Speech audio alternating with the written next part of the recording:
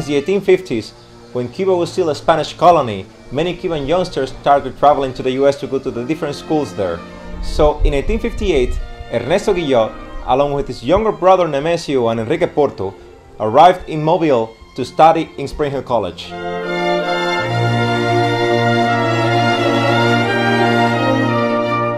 In that school, apart from learning the different subjects, they also learned about the practice of baseball, and they were so impressed that when they came back to Cuba after graduating in 1864, they brought a bat and a ball.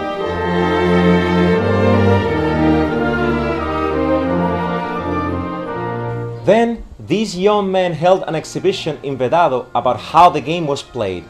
What they didn't really fathom was how important it was going to be. Who would have thought that it was going to be the beginning of baseball in Cuba?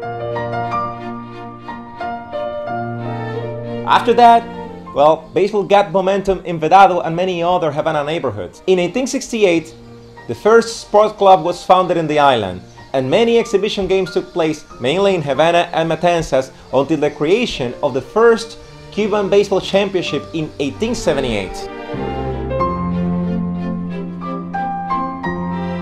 Although in that first process, there were many important names such as the De Zaldo family, Emilio Sabourín, and Esteban Bellán, the role played by the Guillot brothers was crucial.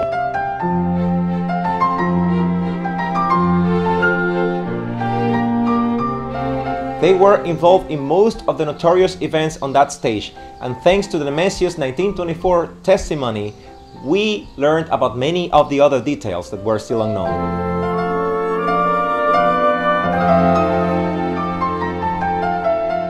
Nemesio is considered the father of Cuban baseball, a Hall of Famer, and Ernesto was the first scorekeeper and one of the most important umpires of that first stage. Enrique Porto, on the other hand, was the only one who didn't play organized baseball in Cuba, but he stood out as a doctor and he even made it to the Ministry of Public Health.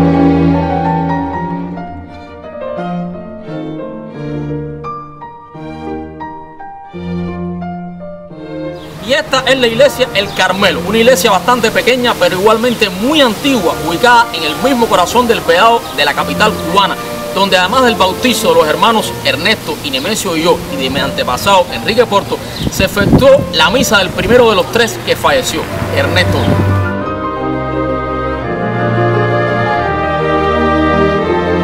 Este es el único sitio que se mantiene en pie de los que estaban en 1864 cuando se produjo muy cerca de aquí la exhibición beisbolera de estos tres jóvenes cuando regresaron de Spring Hill College. Y esa es la razón por la cual un grupo de amigos de Mobile en Alabama, liderados por María Conchita Méndez, quieren dejar establecida aquí una marca que reconozca para la eternidad esa gran conexión entre Mobile, Spring Hill College, así como el béisbol cubano y Cuba, gracias a la gestión de los hermanos Guillot y de Enrique Porto.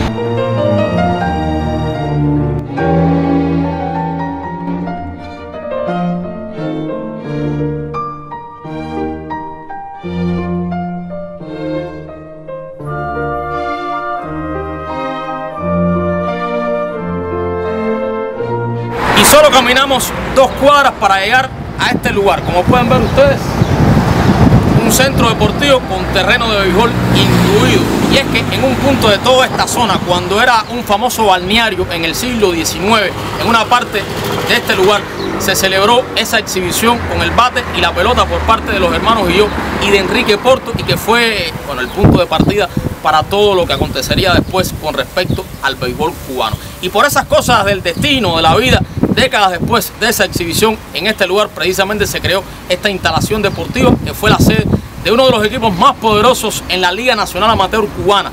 El Pedado Tenis Club fue el nombre que tuvo esta instalación hasta que después fue renombrada con José Antonio Echevarría como una figura importante del movimiento revolucionario cubano de los años 50. También después del triunfo de la Revolución Cubana, aquí se ha mantenido bien vivo el béisbol y se han producido todo tipo de sucesos, entre ellos la grabación de la única serie dramatizada infantil en la historia de la televisión cubana. Pero ahora los invito a echar un vistazo a ver el siguiente intercambio que tuvimos con niños y entrenadores de este lugar, nuestro proyecto Béisbol de Siempre, en un sitio donde se lucha por mantener vivo el béisbol y garantizar sobre todas las cosas el futuro de este gran símbolo de la nación cubana.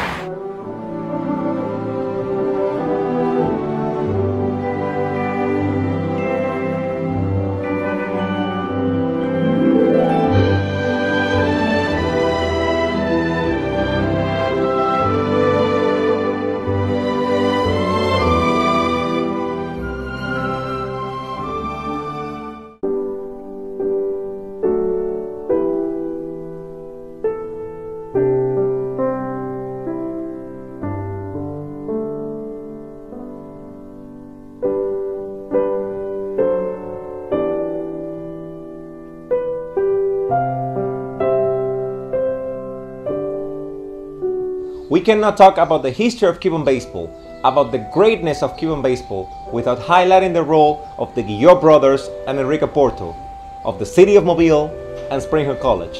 It would not only be unfair, but also a huge mistake.